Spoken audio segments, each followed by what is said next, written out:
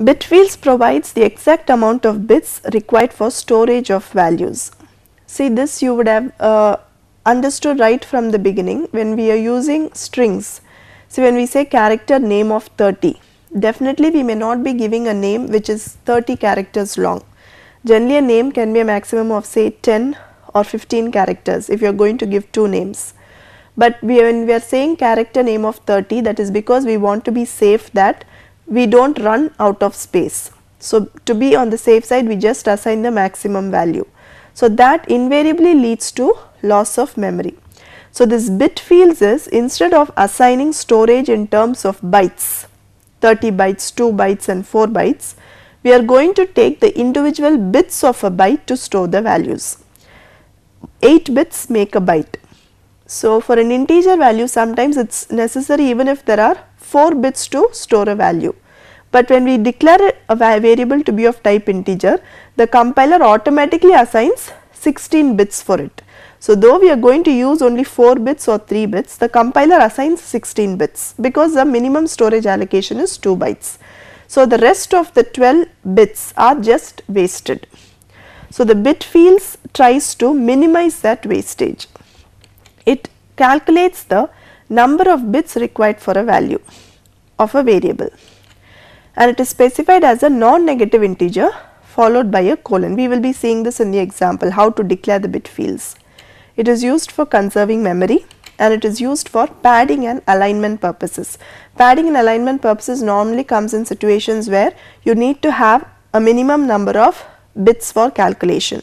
So, if your required value is less than the minimum required you can simply add extra values which do not hold any particular value, but they are just used for making up that space.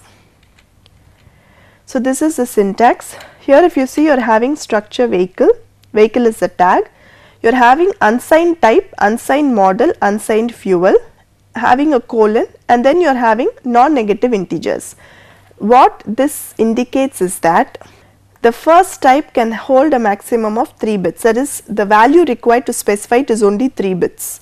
For a model you require only 2 bits, for a fuel you require only 2 bits. So, what does this signify? This is the example. Now, here actually you are trying to represent vehicle details. So, you want to know whether the vehicle is a petrol or diesel type that is why this unsigned type is over here. You want to know whether it is a 2 or a 4 wheeler and then you want to know whether it is an old or a new model. So, you are having 3 categories over here, again you are having 3 categories over here. According to the user's discretion, if we just have 8 bits, it is enough to find out all these details. But actually if you go to declare it as you do usually using integers and characters, for petrol and diesel if you are going to assign character of 10, and for 2 or 4 wheeler character of 4 and for old and new model again character of 4. 10 plus 4 plus 4 that itself will take up 18 bytes. Okay, so but actually according to our requirement we say that 8 bits itself is enough. So how is it possible? You try to minimize the number of characters by which you can represent the type or the fuel or the model. See for the fuel you can just take the first 3 letters PT and DIE or P and just D. So, that will just require 1 or 2 bits for representation. Similarly, for the type of the car whether it is a 2 or a 4 wheeler, you can just have T and F or TW and FW, 2 wheeler and 4 wheeler. So, that again will take up only 2 bits. Similarly, for old and new model, you can have OM and NM, old OM for old model, NM for new model. That will again take up only 2 bits. So, here you are trying to conserve the memory storage. Instead of simply saying character type and assigning 15 bytes, character fuel and assigning 10 bytes and making the maximum storage allocation, you can see the minimum way by which you can represent the information and you can conserve the memory for, for other purposes.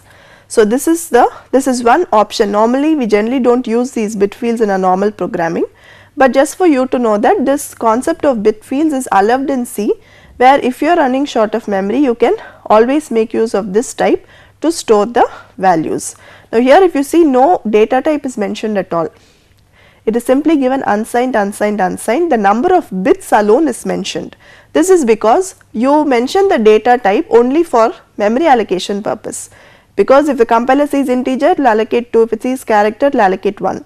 When you yourself are mentioning the number of bits required for storage, the necessity to mention the data type is eliminated. That is why the data type is not mentioned over here. So, this is the way we declare bit fields in the C programming language. There are certain disadvantages with bit fields.